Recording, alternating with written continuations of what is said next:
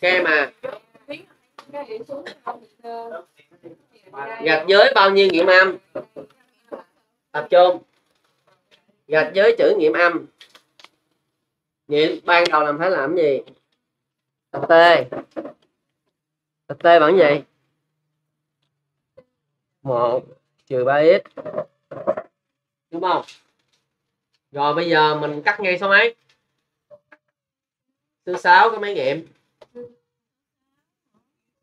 Có nghiệm một à. Cắt cái trên này nè. Một nghiệm. Phải không biết nghiệm này bao nhiêu nhưng nó phải lên ba đúng không? Cho đại số 4 ok không?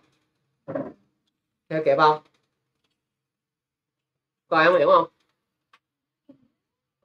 Rồi, vậy giờ em cho là t bằng mấy? T 4 giải ra là 1 trừ 3x bằng 4 vậy x bằng mấy?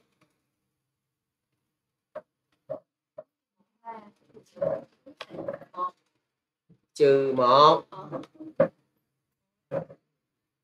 1 trừ 3x bằng 4 x bằng trừ 1 mà x bằng trừ 1 là nghiệm âm hay nghiệm dương?